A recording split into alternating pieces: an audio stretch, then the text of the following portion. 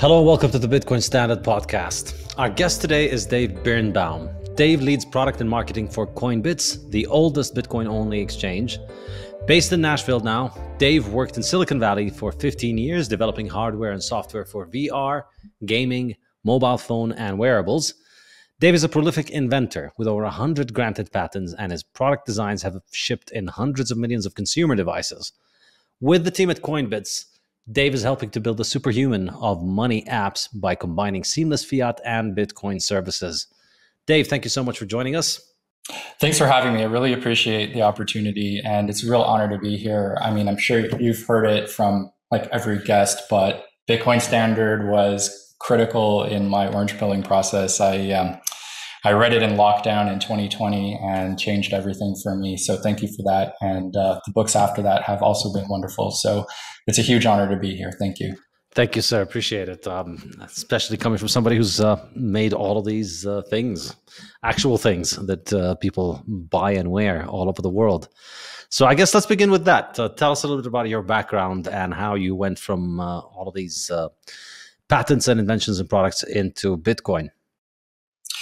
Yeah, so my, my background started out in um, really interface design, and I became interested. I was actually in music school at the time, and I became interested in how musicians use their bodies to perform music and how they're able to express themselves by sort of applying the forces of their body and their, their, their gestures uh, to this physical object that then results in expression and, and, music. And that led me down sort of a, a, path of learning musical instrument design. And I was able to create several instruments that um, take advantage of sort of the, the psychology of humans and the physiology of humans to create new forms of music with electronics and sensors and so on. Um, and that was an interesting process that taught me a lot about the human body. And um, what was interesting about that too is um, I realized that the sense of touch is sort of um, not is underutilized in um, not only musical instruments but really throughout all of our interfaces um, you know, the sense of touch has been neglected pretty much this entire time. When I was starting my career, there was even less of it. Now we're used to the idea of your phone is like poking you or vibrating, or you can feel the keys as you type. Your game controllers are giving you a sense of presence and and um, touch. Uh, and in VR now, you're also able to touch virtual objects uh, in sort of a rudimentary way. Um, but back then, there was none of that.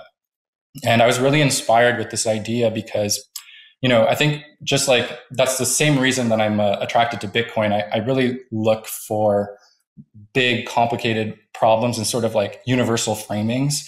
And, um, you know, Bitcoin offers this universal frame of being like, you know, a, lot of the problems that we have uh, roll up to the problems with fiat and Bitcoin's a solution. And at the time, I kind of had the same sort of reductive approach. And I was like, you know, there's a lot of optimism at the time around technology. You know, Ray Kurzweil wrote um, the singularity is near. And at the time, I really thought we were we were going to transcend like human limitations if only we could create better interfaces so that we could interact through the internet more naturally. Um, and I saw people sort of turning against technology. And I remember reading in the tech press, and you think it was like TechCrunch, same thing happened with, with The Verge, like these big media publications that were supposed to be covering this incredibly exciting. I mean, we live in the renaissance of technology. I mean, the explosion of capabilities and experiences is is like we, we live in it, so it's hard to keep track. But you know, nobody's in history has ever lived through anything like this before. So there's so much to be optimistic about. And yet people started to turn against technology. And I, I thought about that and I was like, you know, I think part of the issue is there's this sense of alienation when you you feel like you're reduced to something smaller than your your whole self, you know, your whole human body. And maybe the problem is where the reason people are rude to each other online and they can't connect naturally and emotionally is because their body is neglected. Um, and we can use technology to both capture body movements and also display um, forces back to you, you know, even like a warm hug or a handshake or a high five, like these types of natural things that we do and connect as people. Um, we we don't have those on the internet, and so maybe the the it, the problem with sort of the, the the loss of optimism in technology has something to do with this. So, um, like I said at the time, it was really this this kind of grand vision to to bring people together, you know, to create greater harmony in the world. Um, and and we did that actually, um, not not to the extent that I had hoped, but um, there was a lot of progress there. Um, and eventually, though, with the advent of platforms and really like everything having to be um, sort of integrated into one of these enormous tech platforms um, rather than sort of new companies coming and, and providing protocols and sort of neutral new experiences. Everything has to be locked into these walled gardens. Um, and and attention has to be monetized. I mean, at some point, it became clear the internet economy is going to be driven by attention. It's going to be driven by ads and engagement. And the name of the game is simply maximizing that engagement and if some, you know, good good effects of togetherness and socialization come as a result of that downstream, great. But we're not building that because there's no business. The business is here. Um, and I understand that that's an interesting problem to solve, and I helped solve it. And it was it, it was a fascinating time, but it just at some point, you know, a year went by, two years, and I just was like, wait a minute, like what happened to the original vision? Um, and so as that role sort of naturally ended, I was um, really curious to to branch out and to to kind of reset and and find something that would be as motivating as as it felt in those early days. And um, you know, Bitcoin happened sort of naturally for me. I was um, I was um, investigating other technologies as a part of my research for my for my main job, and I, I wound up looking into crypto and I've always been sort of a privacy advocate as well. So I got uh, very interested in like Zcash at the time because that was the block size war and Bitcoin didn't seem like it might make it. And so, um, so I was like, okay, maybe there's just some, this other thing. Um, and eventually, you know, with 2020 and sort of this, I, I think at, at, around that time, I think if you were into Bitcoin and completely committed to it before that time, you know, kudos to you. You could see something that not everybody could see. And I think at around 2020, it became acceptable to believe in the thesis of Bitcoin just on the basis of like Lindy and network effects. And that's sort of like this unassailable, like, you know, uh, uh, idea. You can't, you can't go back from a network effect like that. And so, um, so I think a lot of people came, came around at that time. And um, so at the time, I was just really fascinated by this concept of, again, it's not a platform. It's not an app that is within a walled garden that's going to be controlled. It's a protocol which is the way it should be. Anyone can build for it, and it does have this sort of this thesis that that you know we can solve big problems again. Um, and so I was really captivated by that, and I uh, I started looking around in, in the industry, and I found this this fascinating company called Coinbits, which we can talk about. Yeah, yeah, I think this is um, this is a common uh, thing that people just uh, because tech is always moving around. People always assume that Bitcoin must be the MySpace. So where's going? Where's the Facebook going to be? Where's the Instagram going to be? Which is going to be Twitter? Which is going to be the one that uh, is going to be geared toward entertainment, and which is the one that's going to be geared toward this and this and that? And I think there's a there's a really powerful moment of uh, realization and awakening when you realize, oh Bitcoin is actually the new Bitcoin. There's it's always there's always going to be new Bitcoins and it's always going to be Bitcoin. It's always going to be the one because as you said, the, the unassailable network effect and the fact that it's the only one that's decentralized and so many different things that we can keep uh, you know we keep uh, discussing here in uh, this podcast and so then you got into coinbits uh, all right so tell us about that how did that happen and what did you do there Sure. So I, well, so, you know, it was lockdown in California. You know, I, I decided uh, with my family, we can't tolerate this situation any longer. Um, I think, I think really the kicker for me, I mean, we were dealing with a lot. I was living in a part of uh, Los Angeles that was boarded up. There were riots. We could hear bombs going off at night. We found empty shell casings outside our house. Um, the education system is in dire straits out there. Um, you know, there was the medical tyranny and the whole thing. Um, but the kicker for me at the end of all of that is to say, oh, but we're paying a premium for this. So it's not like, oh, we're dealing with all these problems, but it's cheaper. It's no, no, it's much, much, much more expensive. You're not getting a hardship assignment bonus for living there. That's right. That's right. And so, and so, um, so we looked around. Actually, we looked also at, at Texas, and um, you know through through a process we wound up here uh, near Nashville, and I didn't even know when we moved. It wasn't even part of the calculus that that this state would have such a tremendous Bitcoin community. Um, but it does, and and it's it's amazing to be here. I would have moved here for it if I had known. Um, there's Bitcoin Park, of course, and there's just a, a, a, real, you know, I think it's it's it's not a coincidence because the reasons I moved here were for the freedom um, and and sort of the values, and Bitcoin followed that sort of naturally through through other channels and, and wound up here as well. So um, I love it here. Um, you know, the conference is in a few weeks, and so that's going to be um, really really exciting. Um, and yeah, so more about Coinbits. so so Coinbits is the oldest Bitcoin only exchange. Um, it's been around since 2018. And uh, when I started, it had one single uh, purpose, and that was to buy Bitcoin for you with roundups. So you would link your credit cards and your debit cards, um, and we would round up your spare change to the nearest dollar and buy Bitcoin for you. Um, and you know, you you know that story well. Um, there were a few other features, but that was really all it did, and it did it really well. We still have that feature, but what was fascinating to it to me as sort of a designer was this idea that they had sort of accidentally solved a couple of interesting design problems with Bitcoin. And again, I'm always thinking about like how do we bring this esoteric, unintuitive technology? You know, Bitcoin's not intuitive. That's something we have to accept how much do we hide? How much do we manage for people? How much do we educate through the use of a product? Um, and where that balance is for me is really the sweet spot. I love thinking about that. So, what Roundups actually did, besides just buy you Bitcoin with your spare change, is it eliminated one of the key questions that people have when they get into Bitcoin, which is how much should I buy and when should I buy it? Um, it's really hard. It's sort of like unit bias is this thing that's always looming. The how much and when is always looming as well. And um, what what Roundups does is it says, don't worry about it. You can get off zero without ever entering a number into an interface and deciding how much to buy or when. You just link your your cards, and we do it for you. Later on, as you sort of you know understand Bitcoin more and want to like increase your commitment to it, you can do that. Um, but but that was something that I think you know I think we didn't even know we were doing when we were doing it. When we talked to people, that was one of the things that that people say they liked about it.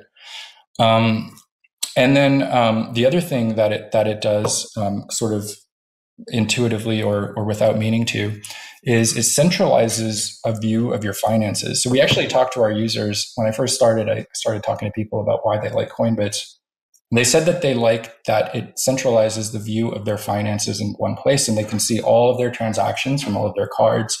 Somebody said that, you know, it helped them identify a couple of subscriptions that they didn't need anymore. And so they could go cancel those and save some money.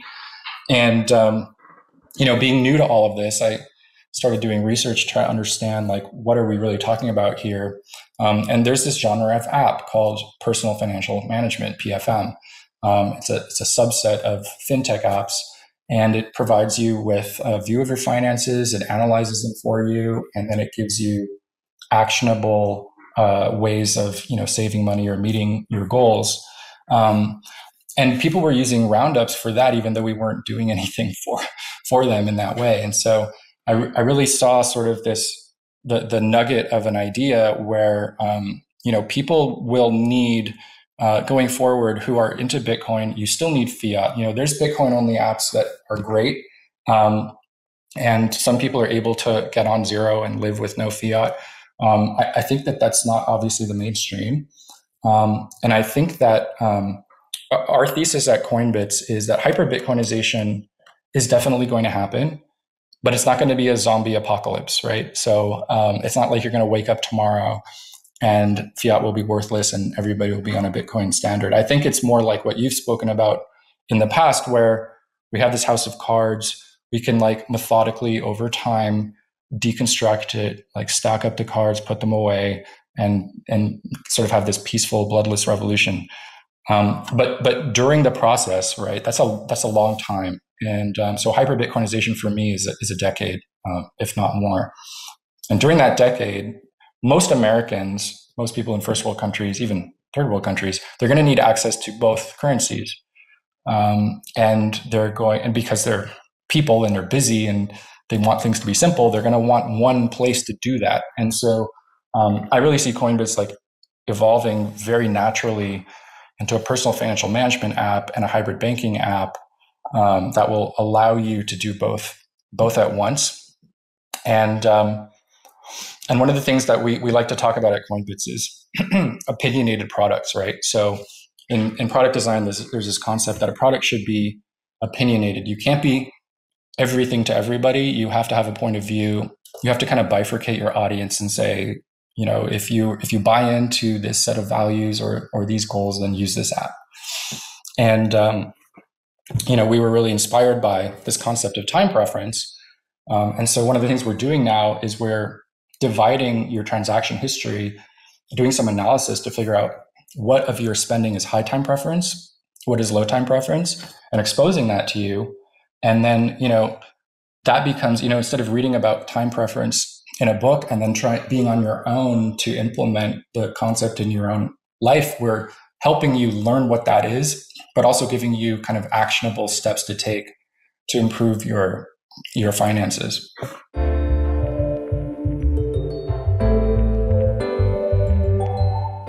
Principles of Economics, my complete guide to understanding economics, is now available in hardcover, audiobook, and ebook from saifedean.com, Amazon, and many more booksellers worldwide. And now I am also teaching a course based on this book on my website, saifedean.com. Principles of Economics will run the whole academic year from September to June and will have a new lecture every two weeks, as well as weekly live online discussion seminars open to learners from all over the world and from all walks of life. Whether you're a student, a professional, or a retiree, you are making economic decisions every day, and this course will arm you with the wisdom of centuries of economists to improve your economic decision making. You'll also get a free book of Principles of Economics if you sign up for the course. Go to saifedean.com and sign up now. Yeah, so so how does uh, t- tell us more about how this uh, high versus low time preference spending uh, uh distinction works in the app? I like that idea. Obviously, I'm uh, very uh, into time preference.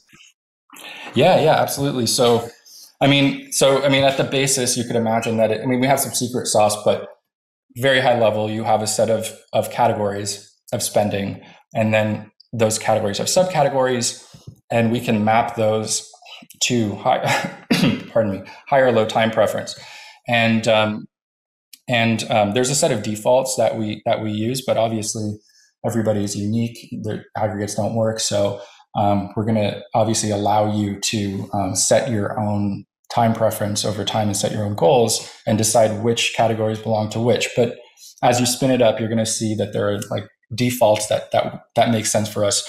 Um, you know, anything having to do with discretionary spending is going to be high time preference typically there is a, uh, a benchmark that um, you should be spending less than 30% of your discretionary spending on uh, sort of luxury items and on high time preference activities. Um, and so we're able to give you kind of a, a, badge or a rating with a little bit of a gamification element there to kind of tell you, listen, like you're doing okay, but you know, if you want to do even better and live your values as a Bitcoiner, this is how you can do it. This is how you can eliminate uh, superfluous spending. And what's really great about it too is because we can see your transaction history, because you give us that permission, we can seamlessly save for you, right? So we can say, listen, you spend, um, you know, twenty dollars on a Netflix subscription.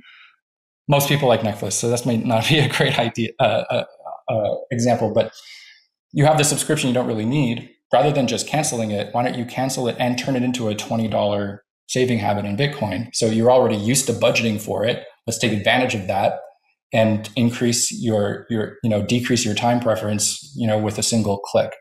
Yeah, I, th- I can see how this uh, can really be very powerful because um, I mean, uh, since writing the Bitcoin standard, I, uh, I, I was pretty surprised at just how many people um, told me that that part of the book on time preference really resonated with them, and it's um, it's something that very very few people had discussed before, particularly in terms of the relationship between money and time preference. And so, once you start seeing it, you start seeing it everywhere, and you start thinking about it uh, at all times, and it's a um, it's a really powerful lens for making decisions because the way that I see it, honestly, is that that is like the control knob for everything in your life.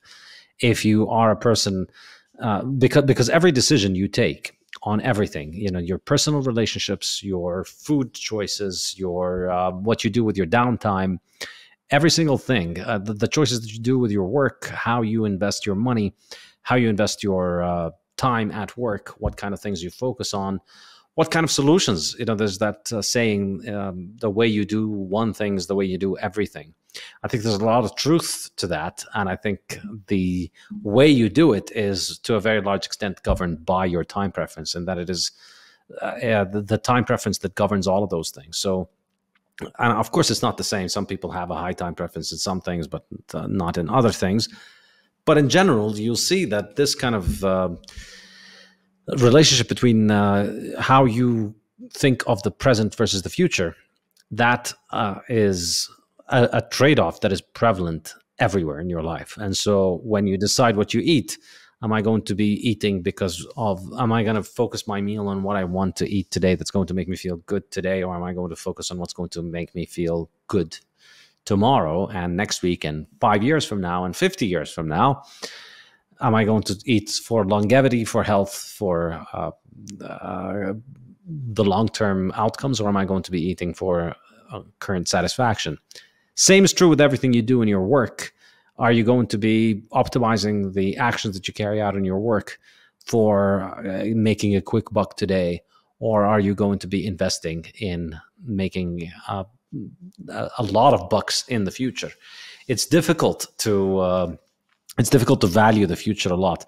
But once you see it and once you become aware of it, I, I found this truly astonishing for me that once you become aware of this, it's amazing how much more uh, power you have in terms of taking those decisions because you start seeing it everywhere and you start understanding okay, the reason my work is always in a mess is because today I'm paying for all of the uh, years of high time preference decisions where I prioritized myself one year ago, two years ago, five years ago at the expense of me today. And that's why today I'm paying the price for it.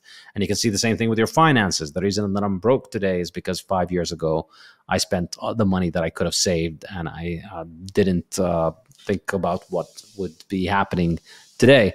And so, and, and you see it in your personal relationships with people, the way you deal with people, in everything. And once you just start seeing that that trade off exists, it's it's it's like you've unlocked a superpower. It's it's like you start becoming like a, a, a, cartoon character who has a magical superpower that allows you to influence things in a really um, profound way that you hadn't thought about. Because now you start thinking, okay, what am I going to eat? There's a high time preference choice. There's a low time preference choice. How am I going to spend my money? There's a low time preference versus high time preference choice. And initially, of course, you know, choosing the low time preference path is initially choosing pain so if you're broke now because you've spent the last five years spending a lot of money, um, it's not like, all right, I'm going to start choosing low time preference decisions and then I'm going to be rich tomorrow because of it.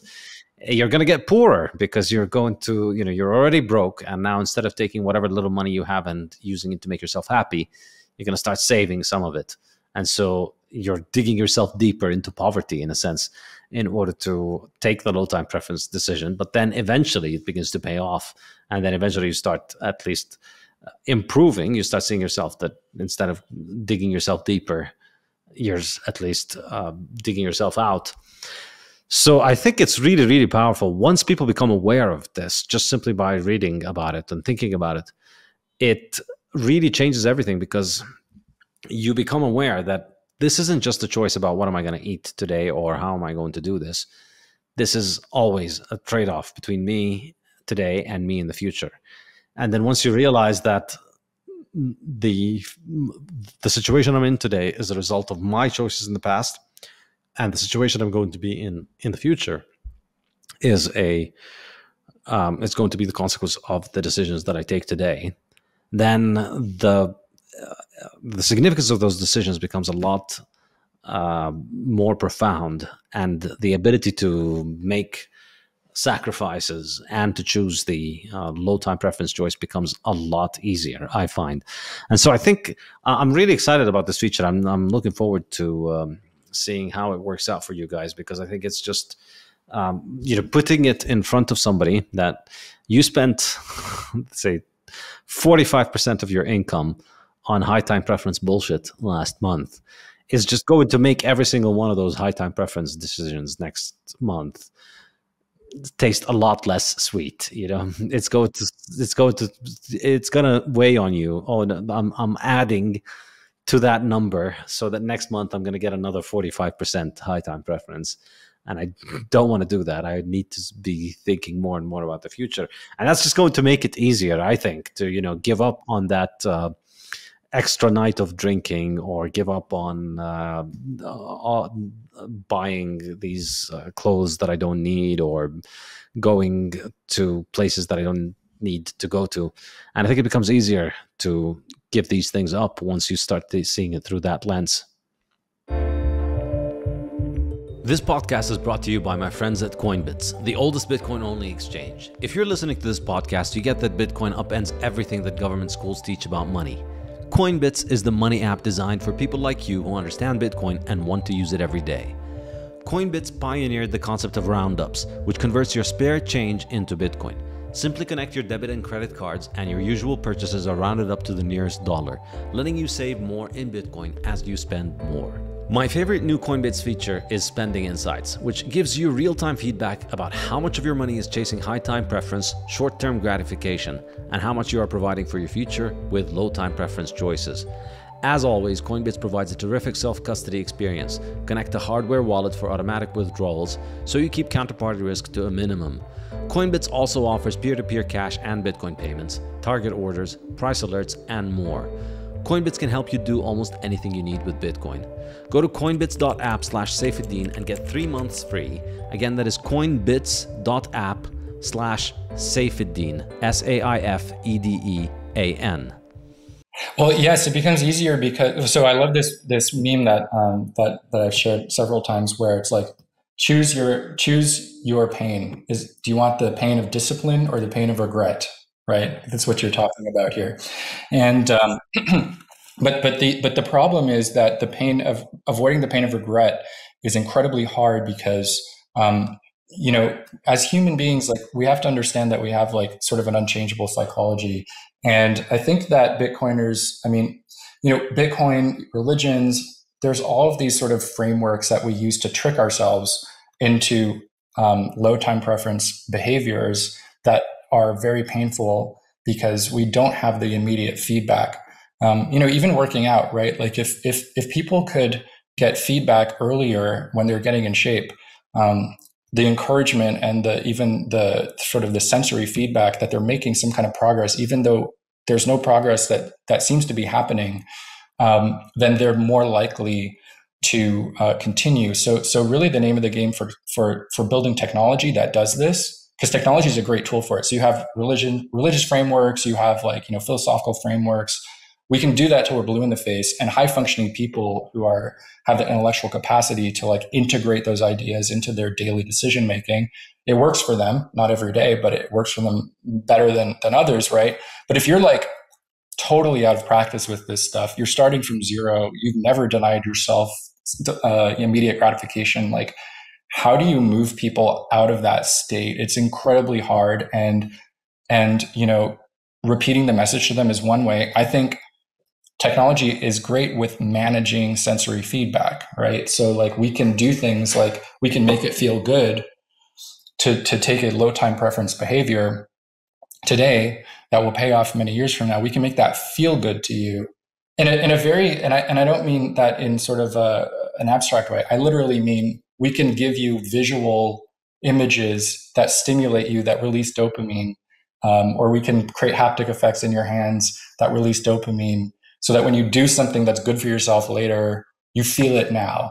And um, you know, I, what what I like to call it is responsible gamification, right? So in product design, we have this concept called gamification, where um, we can use some of the mechanics of games to get people to behave a certain way, and that has been you know that can be used very irresponsibly that can be weaponized and we've seen that and that's why there's a lot of issues with people who have tiktok brain or you know basically in order to communicate with other people now, even on Twitter, right? Like you're looking for those dopamine hits. Are they going to like my tweet? Oh, it went viral.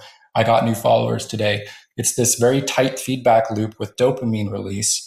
Um, and it's used in the case of Twitter, maybe good in a good way because you're trying to impress people with your erudition and you know you're, you're trying to kind of like build a reputation amongst very intelligent people and so you know that's that's that's better than you know maybe let's say tiktok TikTok and some of the others. Um, but I think we can be even more responsible with gamification and build, like you said, um, build in a, a, uh, a, trajectory of sort of expected behaviors and rewards um, that pays off not today, but far in the future. But it feels like it, it pays off today. Um, and the thing is that it pays off also for businesses. So, um, you know, for personal financial management apps, people who use them habitually are 18% wealthier um, than people who don't. And so, you know, when you're building an audience and you, through product design, are able to make them 18% wealthier over the course of a year or two, that you've built trust, you've built like a loyal base of people who who believe in your message. And frankly, from like a transactional point of view, they're richer, they have more money, you can sell them more things. So it's good for you. The lifetime value of that user has gone up 18%. and so, you know, I think there's a win win here. The trick is for the business to also have a low time preference and to not sort of be tempted to chase those early wins that ultimately fizzle out. The Bitcoin Standard podcast is brought to you by CoinKite. CoinKite are my favorite makers of Bitcoin hardware. They produced the legendary Opendime, the first Bitcoin bearer asset, as well as the reliable Coldcard hardware wallet, the excellent stainless steel seed plates for storing your seed phrases, and the block clock. Now, CoinKite have produced the Sats card, a card the size of a credit card which can store Bitcoin and works great as a gift. CoinKite have just produced a limited edition gorgeous Bitcoin Standard Sats card, which carries the Bitcoin Standard logo, and you can get it from coinkite.shop slash Bitcoin Standard. Use the code Bitcoin Standard to get 5% off your purchase. Yeah, I think this is really a very good way of putting it because ultimately, um, I mean, you can make a lot of money frying people's brains, but then, you know, you have fried brains for customers, which is uh, going to be probably problematic down the line. But it is difficult to try and uh, focus on this. And I can sort of understand why. Uh, there's an element of smash and grab with tech innovation. It's almost always inevitable that when new things come along, it's just going to make sense to uh, go for the big jackpot that is high time preference that compromises the long term health of the business. And I think you see this quite often. And in a sense, it's almost inevitable because it might even make sense. Like there is just so much reward for uh, getting the uh, early. In a sense, you can see this with, for instance, um, with with Bitcoin companies that get into shitcoins. Like it's probably compromising their ability to um, do Bitcoin in the long term, but at the same time, you're never going to get people. You know, you're never going to have a world that is as clueless about shitcoins as that it is right now. And so the, it kind of makes sense to compromise your long term because you can uh, you can maybe make so much more in the short term. But I think with time, as the market matures, these kind of companies, you know, they make their loot, they do the smash and grab, but then they ruin their reputation, and then in the long run, other kind of companies become more and more trusted over time. Yep. Yep. I agree with that as well. I mean, I think uh, there, there's also sort of this, um, there's a catch 22, which is if you believe in the thesis of Bitcoin, then you may be say, you may justify it to yourself to say, well, I'm going to do the smash and grab because that will allow me to accrue more Bitcoin more quickly. So it's, but, but, but I mean, at some point you have to say like, okay, what am I trying to do here? Um, what are my values and what do I want to leave to my kids? I mean, when I, when my kids were little and they were like, you know, pretty young, and everyone's like, my dad's a lawyer, my dad's a doctor. They asked me like, what what does my dad do? I want to tell my friends at school. The only thing I could come up with is we're trying to make it so that you can hug people through the internet. When you see your grandparents on a FaceTime call, you can give them a hug, and that like resonated for them. And that was and that for me that like when I said that I had never really put it that way, but that kept me going. It's the same now. It's sort of like um, I want to be able to be proud of what I say I do um, and and I think that's that's maybe like un- undervalued uh, in general. And I think when you live in that space, you never want to go back because it feels so good, and you get really positive feedback from other people too when you tell them what you do.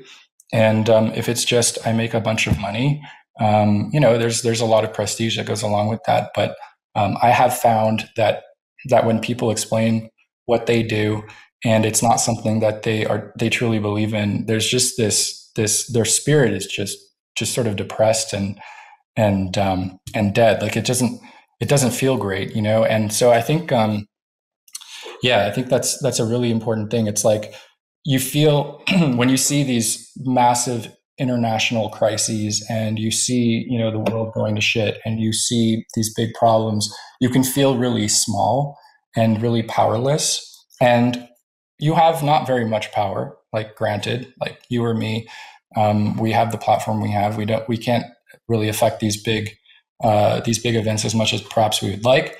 Um, but we can do we have our own scarce time.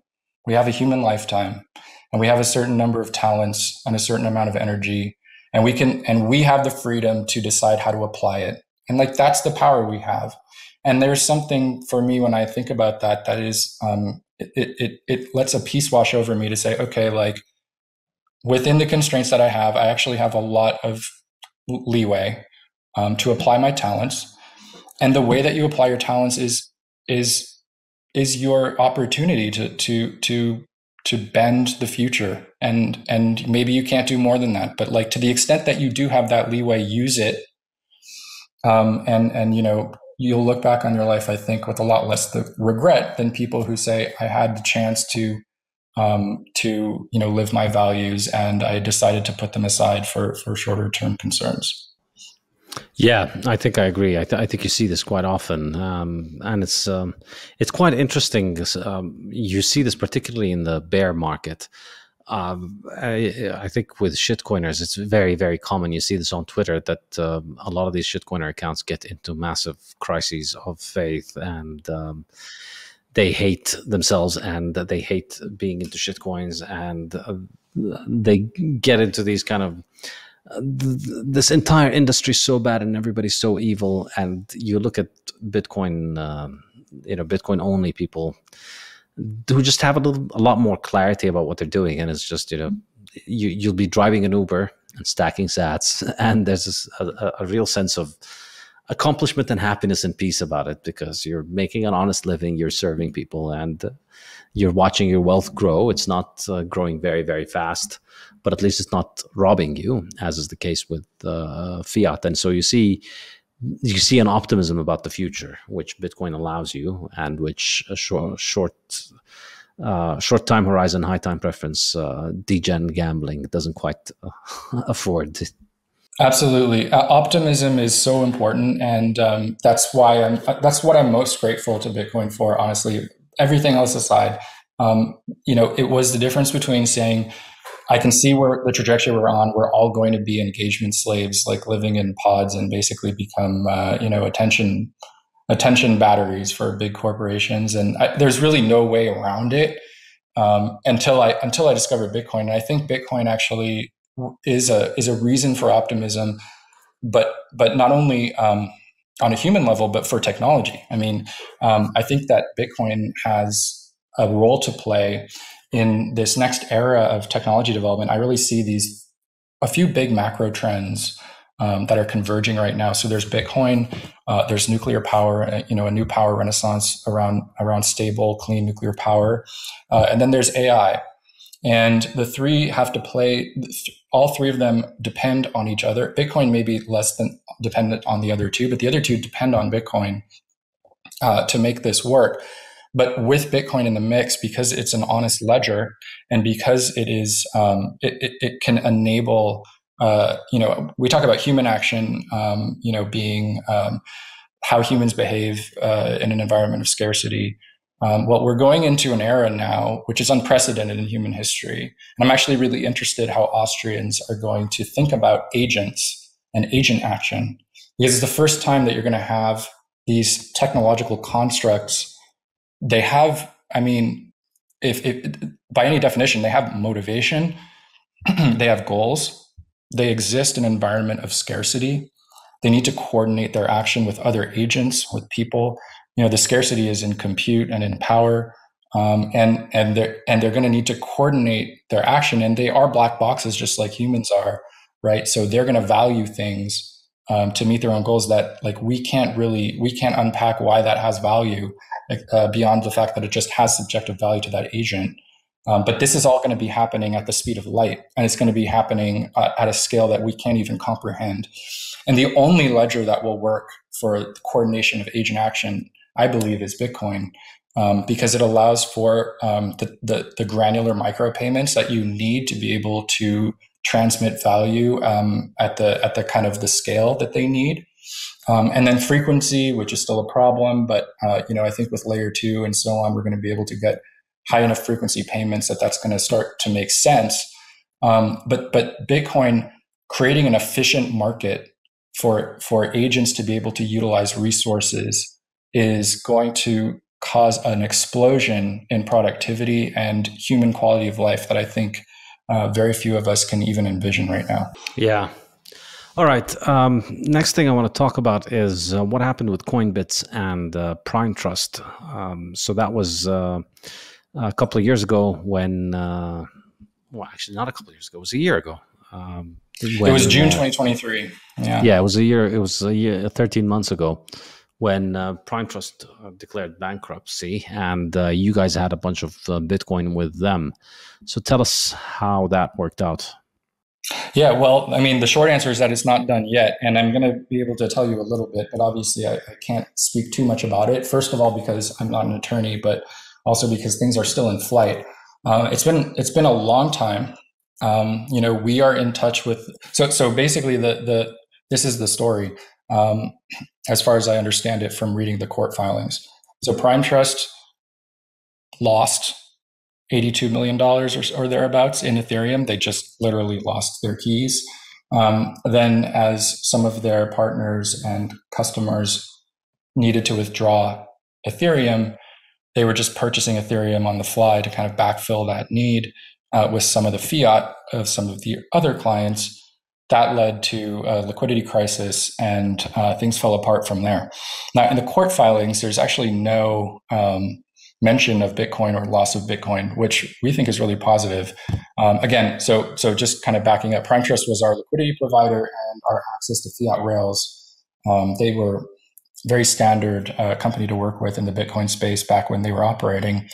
Uh, unfortunately, they acted um, somewhere between negligent, irresponsibly, criminally. Nobody knows, uh, but but it blew up, right? And um, you know, in the lead up to that time, um, in the year before, we had e- even a year before that, we had these. Uh, we, we had a request to kind of like make self custody and withdrawals easy.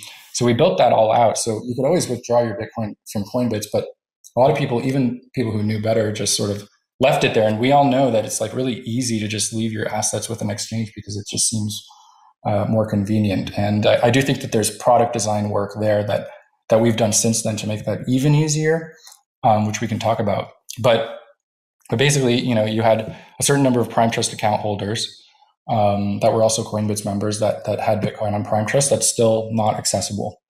Um, we're we're in touch with the uh, the trust that is now in possession of Prime Trust assets there hasn't been a lot of movement on it. Um, and it's one of those things where, you know, the, the wheels of justice turn slowly.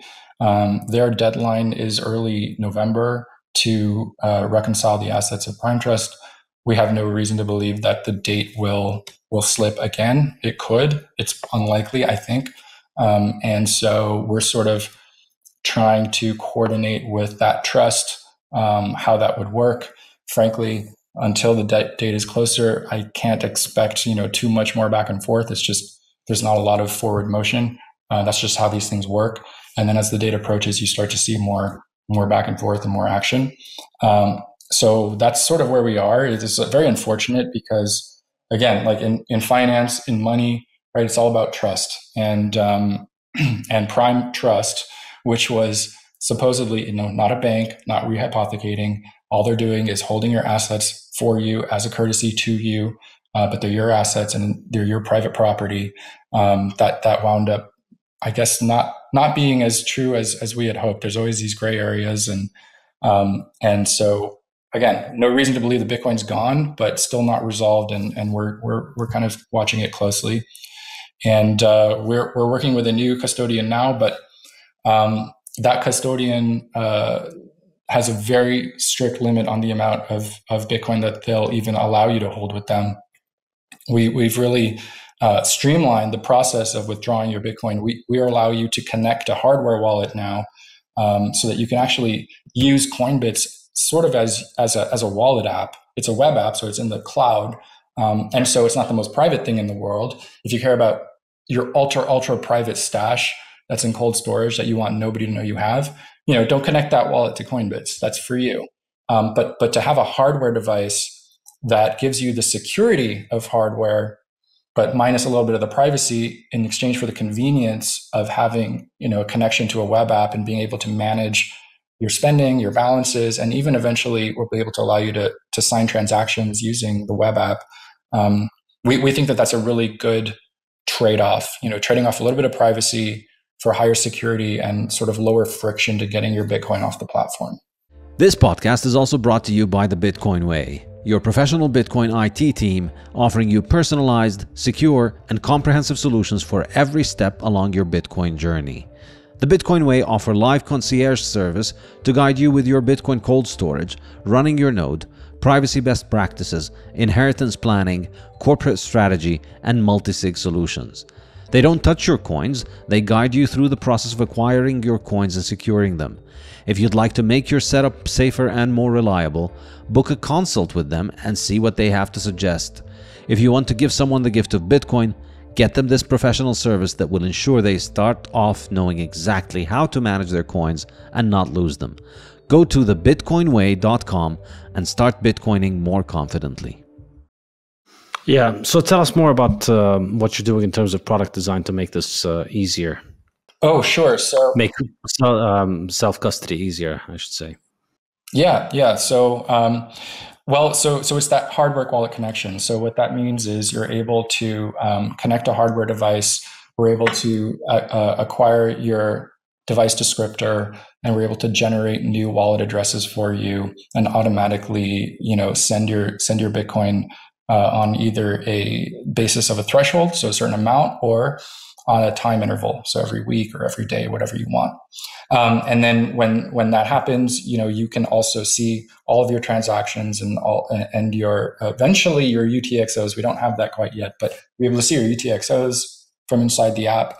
And again, going back to this idea of personal financial management, right? Um, you want again not your super secret stash, but like for the KYC Bitcoin that you have, you probably don't need to keep that ultra private. And you want to be able to see kind of everything in one place your net worth um, you know you're able to then uh, like i said before if if you have upcoming fiat liabilities um, because we see in your transaction history that you have to pay certain bills every month it's very likely that you'll have to pay them next month. We can actually you can set up your own automation. This isn't here yet but this is the vision. You set your own automation up to be able to sign a transaction, to be able to like move um, uh, Bitcoin onto the platform, convert it to fiat, and have it ready just in time to pay those bills. So, um, so like I said, I think um, you know there's an opportunity to to uh, sort of integrate Bitcoin experiences with traditional money management experiences. It's never been done.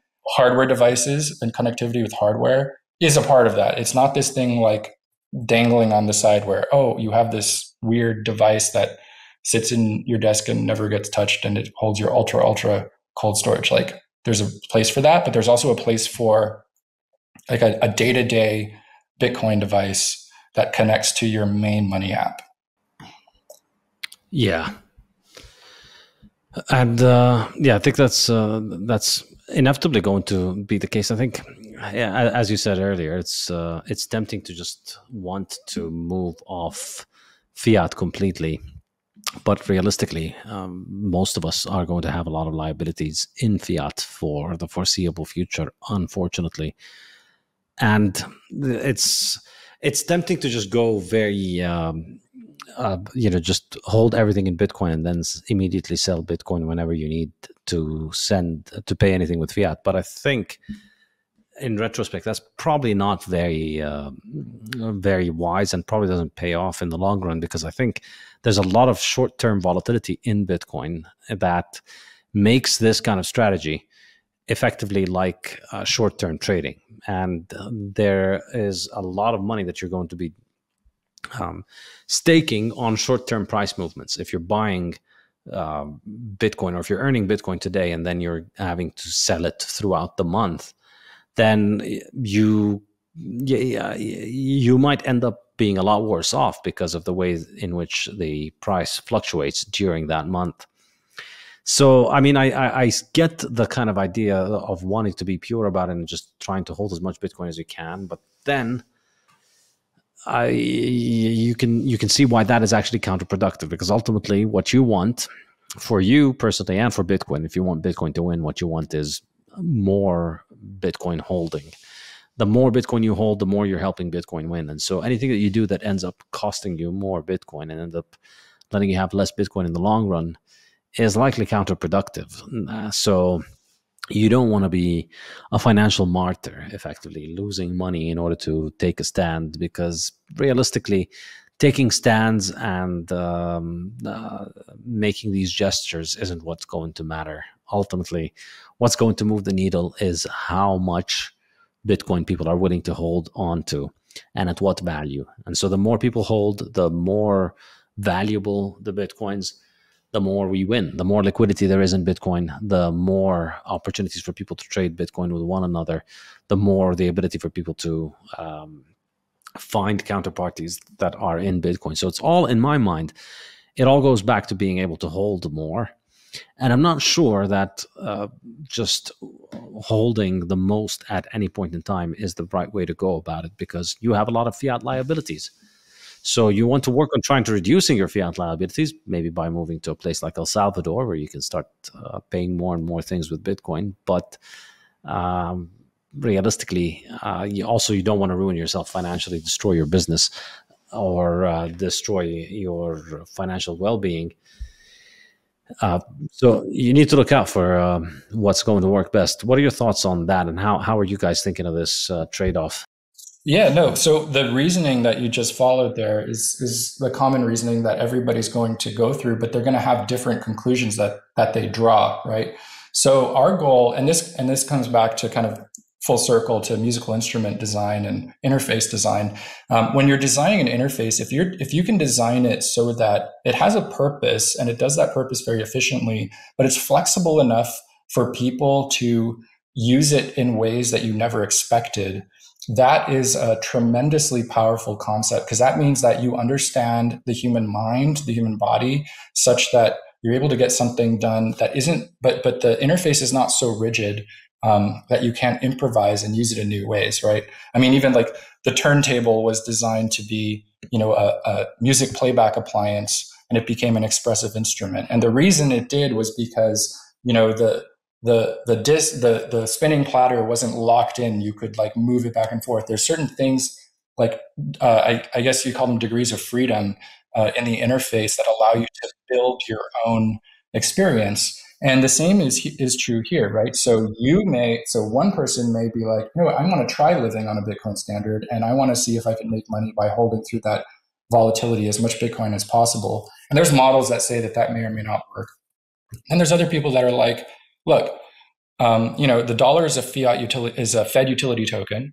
You have to. It, it's required in order for certain for certain things. Um, I'm I'm dipping my toes. I'm going to use some of these automation tools to to um, expose myself, you know, to to Bitcoin in a certain way that works for me. So I think the key is, you know, while I said you need to be able to build an opinionated product, that teaches people the values of the company and sort of what you're trying to impart. Um, you also need to build flexibility into the system so that people can use use use your product in an unexpected way and that really then feeds back into the product design because you observe users doing that and that leads to new ideas. I mean, I explained how we already did that, uh, and and that's how we arrived here. Now, if we build um, an automation feature that allows you to uh, obtain, you know, just-in-time fiat exposure only for your liabilities, you know, hopefully we're going to do that in a way that isn't so anticip- uh, anticipatory of your needs that you're locked into a course of action. Instead, we'll give you the freedom to set up those automations and then we'll go back and look at how people are using them and that may feed back into the product as well and, and make it more intelligent the Bitcoin Standard podcast is brought to you by Orange Pill app, the Bitcoin only social network that connects you with high signal Bitcoiners, events, and now merchants as well. If you're like me and can't stop talking about Bitcoin, you know how challenging it can be to talk to the no coiners and how nice it is to talk to someone who gets you. With the Orange Pill app, you can find the Bitcoiners near you and they can replace the no coiners in your life. You can organize events and meetups with local Bitcoiners, and wherever you travel, you can meet up with local Bitcoiners all while being as anonymous as you like. So if you want to build your local network of Bitcoiners, find a Bitcoin meetup or merchants accepting Bitcoin, head over to orangepillapp.com to sign up or download the app from the App Store or Google Play Store and send me a DM so we can get connected. Um, all right, what else uh, do you guys have planned? Um, what other uh, things do you see in the uh, future for you? Well, I mean, I think we're we're we're entering a very interesting time from a business perspective as a Bitcoin company. Um, this era that we're entering into, you know, finance, banking, for better for worse, probably for worse, it's uh, very heavily constrained by regulation. It's a very it's an ossified industry. Uh, it's it's it's regulated very very closely, and your your possibility for action within finance is, is very constrained. I worked, um, you know, not not so much, but I have a, a, small amount of experience with medical devices, and it's very similar. Like you, you, you, there's a lot of cool stuff you would want to be able to do, but you just know that you're never going to get it past the regulators.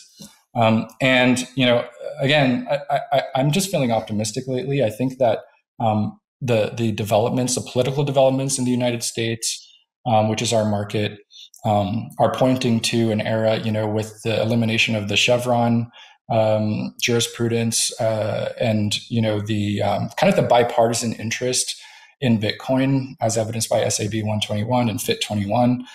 You know, you're kind of seeing like, okay, there's one party that is including Bitcoin in its platform, and not the other one. I think though that it is a bipartisan issue, and I'm I'm very excited about this idea that we're going to buy into the you know the, the trifecta I talked about. Like we need to be a leader in AI we need to be a leader in nuclear. We, we can no longer afford to have these luxury beliefs um, that nuclear is dangerous. And then we need Bitcoin and, and, and Web3 and crypto and so on, which gets kind of thrown in with all of that with politicians and, and their agendas. Um, and so you're going to see a loosening of regulations.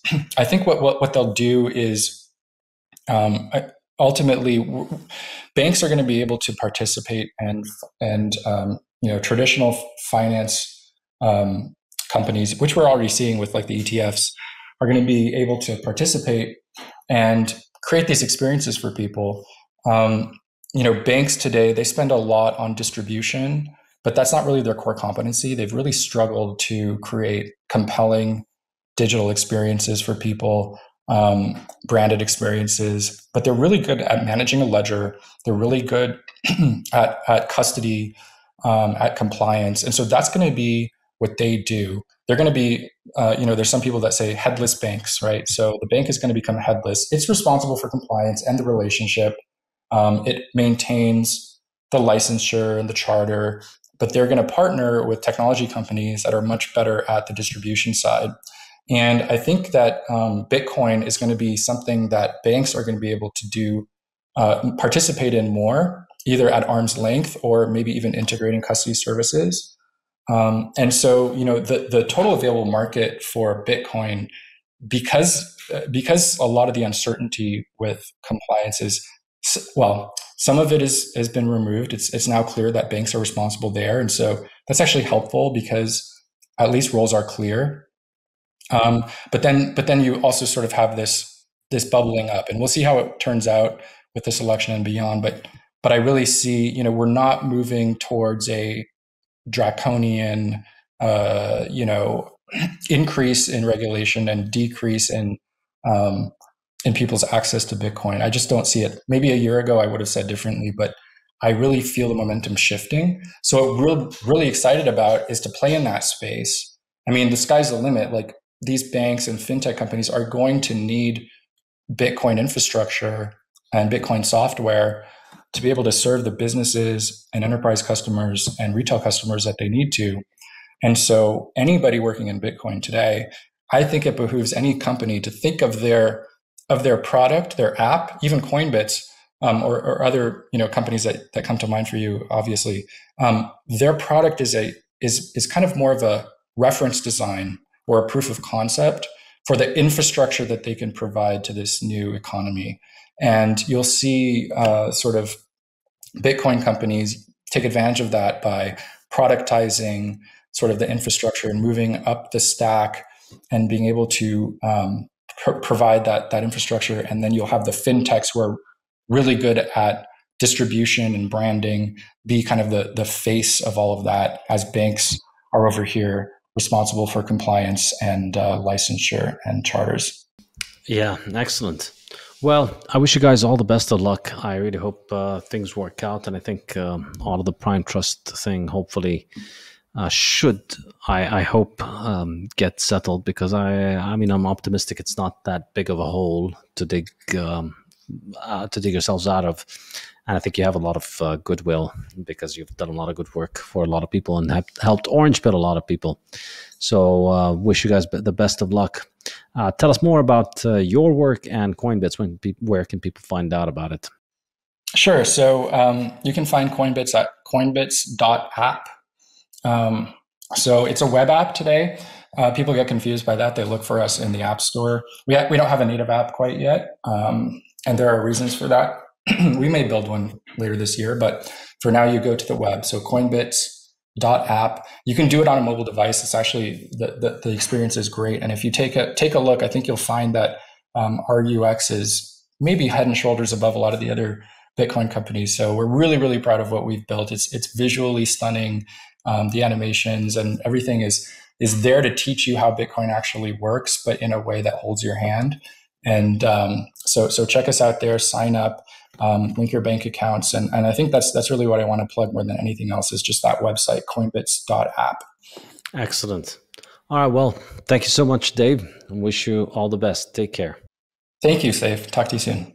Cheers, man. Take care. Bye bye.